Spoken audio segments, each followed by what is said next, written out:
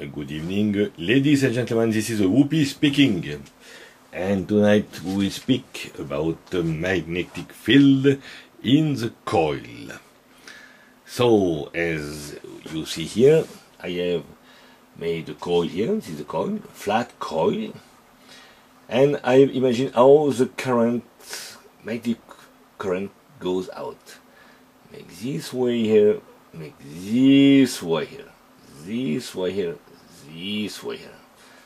Okay. And now if we go on a longer coil, it is the same. It get out from the middle, get out around here, get out around here, and on the other side. Then I thought, what could we do with a curved magnetic current uh, solenoid this curve here. So what could happen? If we tighten here and here and here probably it will be a concentrated magnetic flux here and here.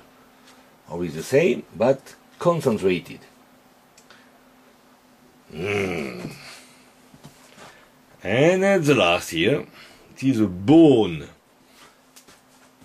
so the less flux here, but more flux here. So more concentrating here. Perhaps. Hmm. Okay. But the experiment is the best anyway.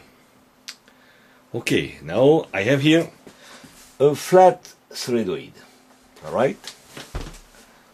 And inside this flat solenoid are ring magnets. Okay, and now I will energize this tonight in boom. Oh, small problem. Why? Ah, oh, right. He's jumping. Okay. And as you can see, the ring magnets is staying right in the middle.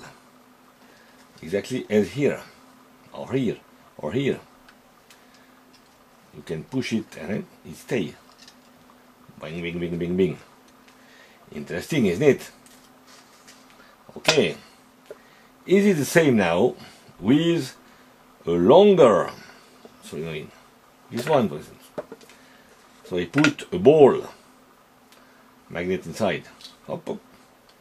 And I will put the power exactly the same as you can see it is in the middle. You can push it, no problem. Mm, very interesting, isn't it? Ping. Okay. But now, this bone system with compression on outside inside is very puzzling. And perhaps it can work for a motor. Mm-hmm. And I did it. It was an idea from Ted at Heretical Builders. As you can see, mm, you see some schematics here. And the motor and it works very well indeed. I can only recommend you to make a test on it because since three days this motor is working on almost nothing input power.